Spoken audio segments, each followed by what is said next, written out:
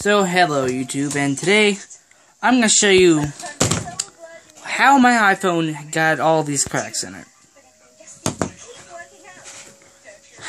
I don't know actually how it got the cracks in it, but I do know how it happened.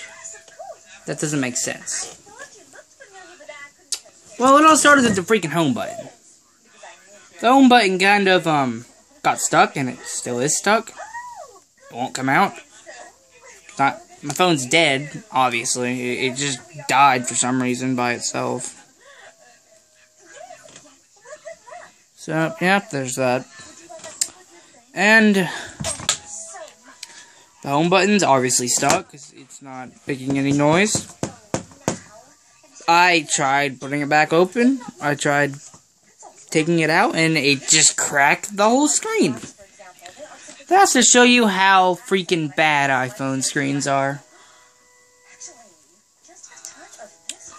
And this is the 4, not the 4S, the 4. The whole back of the phone's perfectly fine. It, it the back looks brand new. And now it's just the front that looks crappy. Which, to be honest, actually isn't that bad of a crack. Just the iPhone 4 screens were never made right, anyways.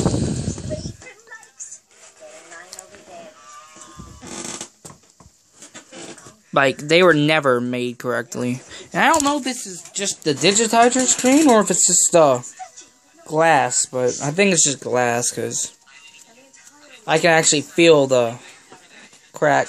Unlike my Droid, where it actually had a digitizer that was broken. But, yep, there's my new cracked iPhone 4, I guess. I'm saying it's new because it's now a totally different phone that's an iPhone 4, but it's the same phone. I meant to say, it just cracks. And it still works, obviously.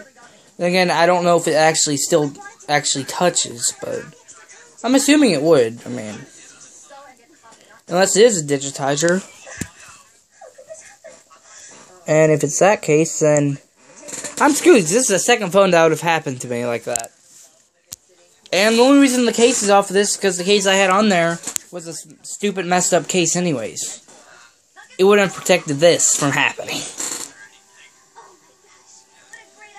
So, whatever you do, just try not to get your home button stuck. And please, if you do, do not do what I did and try to take it out. That's probably a stupid idea anyways to begin with. You probably won't do that. And hopefully this won't happen to your phone. Thanks for watching and um, subscribe for more.